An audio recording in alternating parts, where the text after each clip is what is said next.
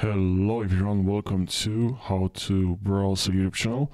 In this video, in this tutorial, I'm gonna try my best to help you fix this problem. Something went wrong, try to reopen settings later, and it's very annoying when you simply want to update Windows 11 and this arrow occurs. So in uh, this video, I'll, I'll demonstrate two approaches that I believe could be used to address this issue, okay? So now let's jump to the first method. Here write Windows or you can write trouble shooting and click on the first option and here select other troubleshooters and click on run and this we're doing this maybe.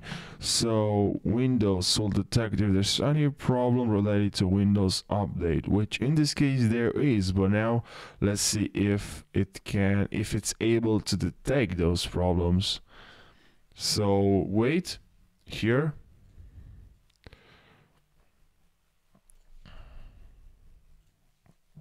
And Windows Update troubleshooter has completed and problems found. Check for Windows Update issues. Okay, seems like this didn't fix the problem. We're still having this problem, and as you can see here, actually it fixed the problem as you can see. Okay, now now I'm able to update Windows as you can see.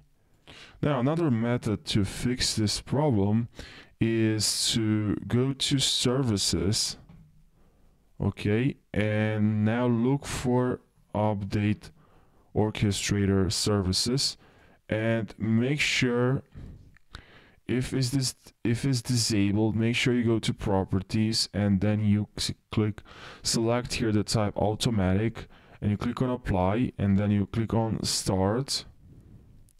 Now okay and also make sure you click on restart all right?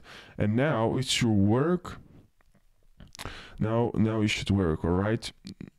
So thank you guys for watching. I hope this video helped you. And don't forget to subscribe for daily tutorials.